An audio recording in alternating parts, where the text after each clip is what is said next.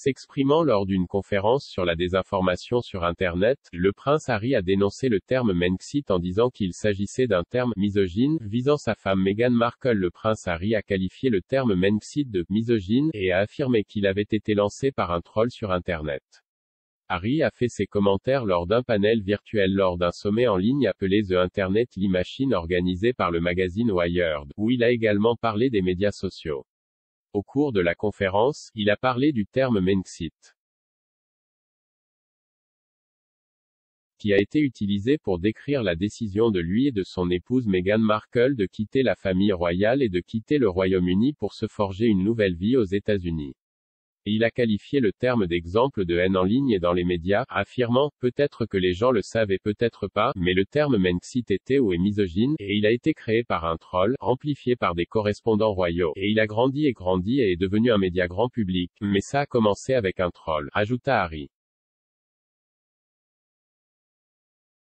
Bien qu'il n'ait pas développé il a également poursuivi en affirmant qu'une grande quantité de discours de haine pouvant être trouvés en ligne et diffusés par un petit nombre de comptes de médias sociaux.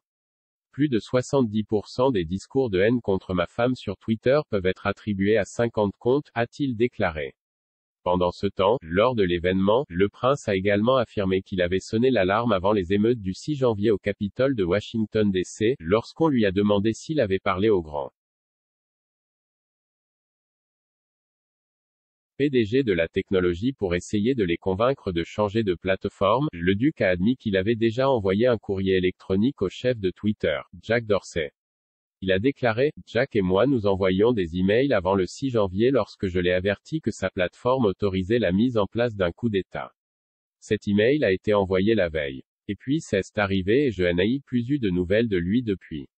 Il a également plaidé pour une réglementation plus complète et meilleure des plateformes de médias sociaux afin que les gens puissent avoir un bon accès à des sources d'informations fiables.